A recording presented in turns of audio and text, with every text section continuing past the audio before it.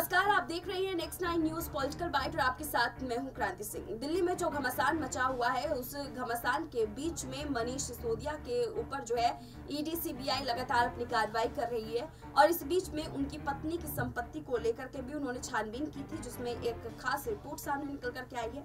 क्या इस खास रिपोर्ट में? देखिए। सिसोदिया ने 2013 के चुनाव में दाखिल हल्फनामे में वर्ष 2012 से 13 की सालाना आय पाँच लाख इक्कीस हज़ार रुपये बताई थी, जो वर्ष 2020 के चुनाव में दाखिल हल्फनामे में 2018 से 19 में दो लाख पैंतालीस हज़ार आठ सौ सत्ताईस रुपये की है। वहीं उनकी पत्नी के पास पैंसठ लाख कीमत का मयूर विहार में दो फ्लैट भी है। जबकि पिछले चुनाव में बताया गया था कि पांडव नगर के 20 लाख रुपए का फ्लैट है। वो इस बार के हल्फनामे में शामिल नहीं है। वहीं अब सिसोदिया के पास अपनी निजी कोई कार नहीं है, जबकि पिछले दो चुनाव में उनके पास कार थी। सालाना आय 2012 से 13 में पाँच लाख इक्कीस हज़ार रुपये चल संपत्ति तीन लाख अट्ठासी हज़ार रुपये इसमें पंद्रह हज़ार नकद, दो लाख बयालीस हज़ार बैंक खाते में, चालीस हज़ार कीमत की कार अट्ठाईस हज़ार की पॉलिसी। वार्ता लोक अपार्टमेंट में बारह लाख का फ्लैट पत्नी के पास पाँच लाख सत्रह हज़ार दो सौ अठहत्तर रुपये की चल संपत्ति। इसमें पैंतीस हज़ार रुपये नकद, सत्तर हज़ार बैंक खाते में जमा, इक्यावन हज़ार की पॉलिसी, तीन लाख साठ हज़ार कीमत की 120 ग्राम सोने की ज्वेलरी, वहीं 20 लाख कीमत का पांडव नगर में फ्लैट था। सिसोदिया के आठ साल में आय आधी हुई है, वहीं पत्नी की संपत्ति में तीन गुना की बढ़ोतरी हुई है। तीन मामले कोर्ट में इस वर्ष पति और पत्नी दोनों पर बकाया था।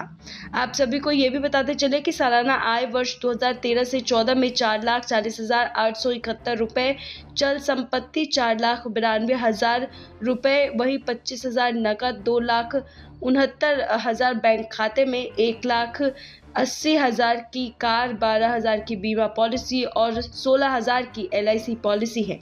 वार्तालोक अपार्टमेंट में बारह लाख रुपए का एक फ्लैट, पत्नी के पास तीन लाख पंचानवे हज़ार दो सौ अठहत्तर रुपये की चल संपत्ति, इसमें दस हज़ार रुपये नकद, दो लाख आठ हज़ार बैंक खाते में जमा, इक्यावन हज़ार की पॉलिसी, एक लाख पच्चीस हज़ार कीमत के पाँच सौ ग्राम की ज्वेलरी तो 20 लाख कीमत का पांडव नगर में फ्लैट था। साथ ही उन पर आश्रित एक के नाम से अठहत्तर हज़ार की एल बी की जानकारी भी थी।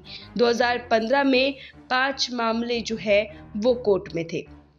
अब अगर हम 2020 की बात करें तो सालाना आय वर्ष 2018 से 19 में दो लाख पैंतालीस हज़ार आठ सौ सत्ताईस रुपये हैं। वहीं पर चल संपत्ति चार लाख चौहत्तर हज़ार आठ सौ अट्ठासी रुपये की है। इसमें चार लाख सत्ताईस हज़ार बैंक खाते में नकद है। वहीं बाकी की बीमा पॉलिसी है। अचल संपत्ति में वार्तालोक वसुंधरा में इक्कीस लाख रुपये का फ्लैट है। वहीं पत्नी सीमा सिसोदिया के पास चल संपत्ति दो लाख छियासठ हज़ार हज़ार की है। इसमें दो लाख कीमत की ज्वेलरी, पचास हज़ार छः सौ चौंसठ रुपये बैंक खाते में और पाँच हज़ार रुपये की एलआईसी पॉलिसी है। अचल संपत्ति में पैंसठ लाख कीमत का मयूर विहार दो, पॉकेट बी में फ्लैट भी है। वहीं उनके बेटे मीर के पास नौ हज़ार चार सौ सात रुपये की पॉलिसी है। सिसोदिया पर तीन मामले कोर्ट में चल रहे हैं।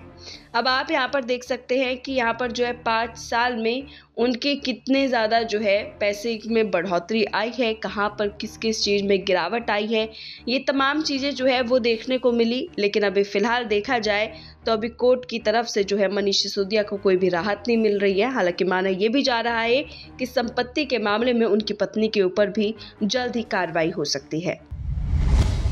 सीमा सिसोदिया की संपत्ति को लेकर के हम चर्चा कर रहे थे। सीमा सिसोदिया की संपत्ति के आंकड़े सुनने के बाद अब आप लोग को क्या लगता है? कमेंट में ज़रूर बताइएगा। अभी के लिए बस इतना ही। देश दुनिया तमाम बड़ी खबरों के लिए देखते रहिए next nine news political bite.